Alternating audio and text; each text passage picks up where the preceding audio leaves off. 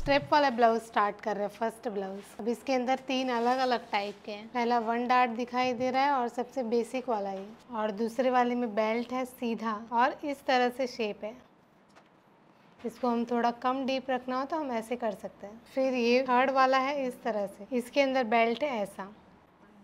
तो हमें सबसे पहले डिज़ाइन को देखना है और समझना है कि कैसा करना है। पहले वाले से स्टार्ट करते हैं, फ़र्स्ट वाले से। सबसे पहले हमें नेक डीपनेस का मार्किंग करना है। कितना आपको नेक डीप चाहिए, उतना आप मार्क कर सकते हो। तो हम मान लो नाइन इंच मार्क कर सकते हैं या साढ़े आठ या आठ इंच जितना आपको चाहिए। उतना हम मार्क करेंगे और उसके बाद इसका हम सेंटर ले सकते हैं। इसके हम सेंटर लेके हमें ये वाला पार्ट हमें स्ट्रिप कितना लेंथ और स्ट्रिप की चौड़ाई। क्योंकि ऐसे ब्लाउज में ज़्यादा यही होता है कि ये अगर बड़ा हो जाए तो या एकदम छोटा हो जाए तो ऐसे लगेगा एकदम। तो ये चीज़ हमें माप लेनी है, ये हमेशा आठ इंच से बड़ी होगी। मेरे साइज़ में मान लो ये नौ जितनी चलेगी।